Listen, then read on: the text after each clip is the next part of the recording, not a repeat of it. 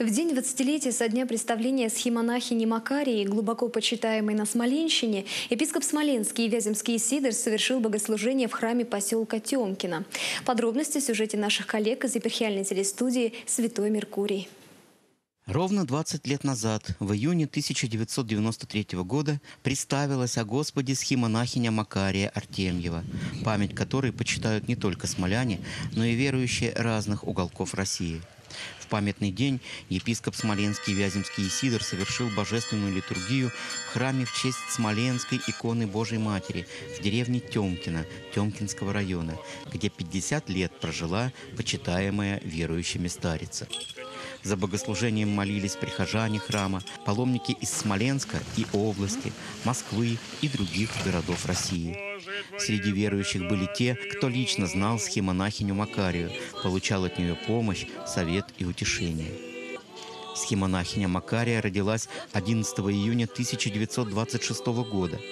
С детства у нее стали болеть ноги, и с трех лет она уже не ходила, а ползала. Девочка стала обузой для большой, состоящей из 20 человек семьи.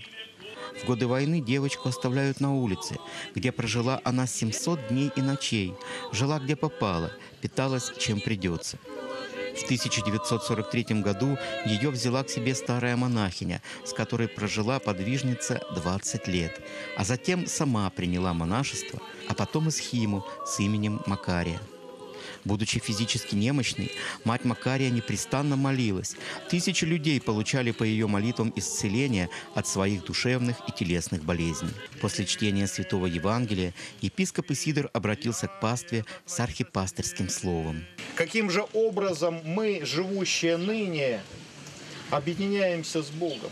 Учредив церковь свою, Христос предлагает нам стать причастниками Его божества – и это причащение Его Божества возможно через принятие тела и кровь Христовы, которые являются для нас единственным способом нашего единения с Богом.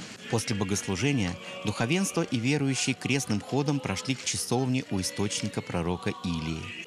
Преосвященнейший Сидор совершил чин освящения воды, после чего шествие крестного хода продолжилось к могиле схемонахини Макарии.